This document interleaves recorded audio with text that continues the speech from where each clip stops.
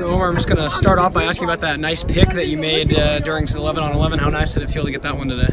Felt good, you know, coming off the knee injury.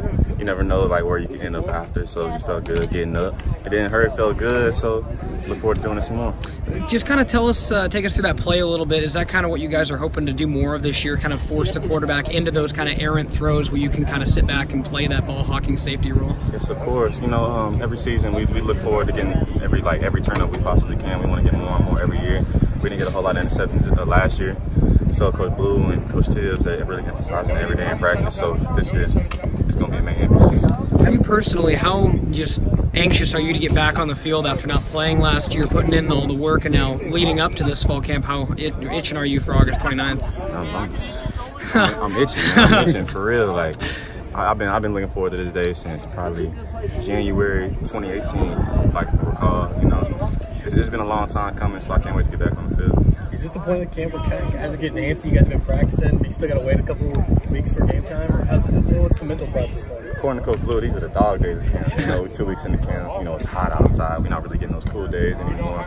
Feet burning, mentally exhausted because we were in Valley all day, body aching, cold tubbing all day. So, like, so we're just trying to like keep our minds strong and just just keep going hard every day. Stay in the playbook, stay stay on the field, stay loose. You know, get to work every day. Coach Blue is new, but this is you know the first time in a couple years now that you've actually had a consistent defensive coordinator and defensive scheme for more than just one season. Mm-hmm. Going into year two with Coach Tibbs and what he's trying to do from a schematic perspective, have you got? You feel like everyone's kind of interpreting the playbook a little bit better? Yeah, I think everybody's interpreting the playbook even more. Um, know, we got a lot of leadership. We got we got a lot of seniors on the team now, so they pushing everybody a lot harder. Everybody gonna be in their playbook, and uh, just gonna keep working, just keep grinding. That's that's all it is. Like like I said last time, it's just all about the little things.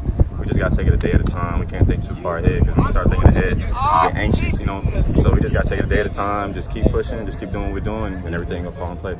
Omar, for Beaver fans haven't seen you guys since last year, what's the biggest improvement? What can you tell them about the defense that's better than last year? Biggest improvement, I say, I say we, we're hungry.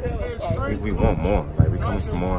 When we're not, we're not. Uh, what you call it? What you call it? What's the word for it? We're not complacent. Yeah, we're not satisfied. Like we want some more. We hungry for real. Like we got we got a lot of juniors and seniors on the team. We got a lot of young young dudes on the team that's coming for blood. Like for real. Like you're gonna be surprised this season. You're gonna be surprised game one.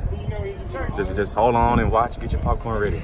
It really seems like it's not just you, but just like across the defense, there's a lot more. You know, there's more smiles, there's better energy.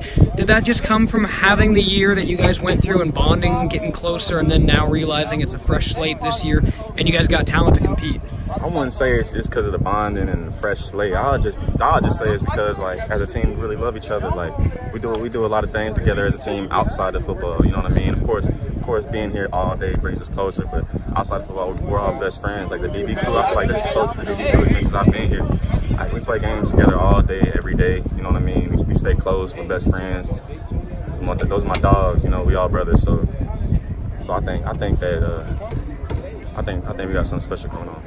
Who are some of the young guys? You mentioned some of the newcomers. Um, we got we got a lot of young guys. I can't even name them all. Just name a few. I'll say Alex Austin, JoJo, Nate I'll say those are those are just the DBs. Mm-hmm. To be honest, yeah, just as DB wise, those, those, guys are really coming along. Have you seen some of those guys grow up? Oh, and since... and Akili. Don't let me forget Akili. Yeah, Akili. so, have you seen some of those guys grow up since you know summer workout started and you got into fall camp? We we uh I, I ain't really seen them a lot in summer workouts. You know, they, they do it, so they got they got to get prepped up and ready. But since they since they showed up on the scene in front of me, they just been just balling, just eating. They they doing that thing for real.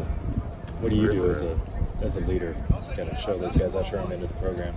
You know, Coach, Coach Smith has one thing. We don't we don't um, we don't haze at all. You know what I mean?